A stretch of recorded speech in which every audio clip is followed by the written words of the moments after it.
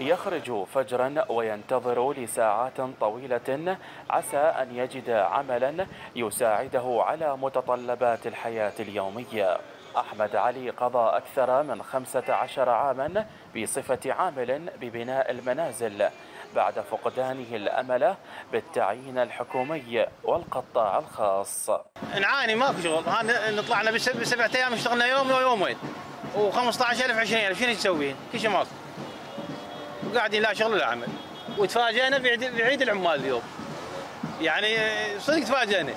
هو هو شغل وين على تعيين العمال؟ موجود. والله من زمان قاعد ذبيناها بالعماله وين ما أروح ماكو تعيين. ذابينها بالعماله وشغل ماكو هاي يوم تشتغل يوم قاعد. وهم اوقات تجينا حتى سبعة أيام ثمان أيام بدون شغل. وتعرف انت بعد. رجال صاحب عائلة شو يسوي؟ ومع ذكرى عيد العمال العالمي ما زالت الشركات الأجنبية العاملة بالحقول النفطية والمحلية. المنفذة لبعض المشاريع داخل المحافظة تستقطب العمال من خارج البلد. والشاب البصري جليس الدار. وبعد الاعتماد على تشغيل مختلف الجنسيات وترك العمالة البصرية زادت نسب البطالة وتعاطي المخدرات بين الشباب.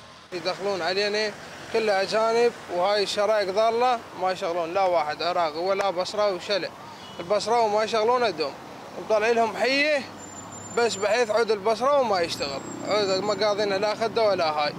كله شرائق جاي يطون كله الأتراك داخلين. الروس داخلين اليابان داخلين حتى الإيراني داخل هناك يمنا بالهارثه المحطة الكهربائية مال هارثه تندلها داخلين بها حتى إيراني. ندري عيد عمال والله مو عمال تعبان شنو؟ عيد يا شيخ مظلومين. عائلة كلها مظلومة شباب عطالة بطالة.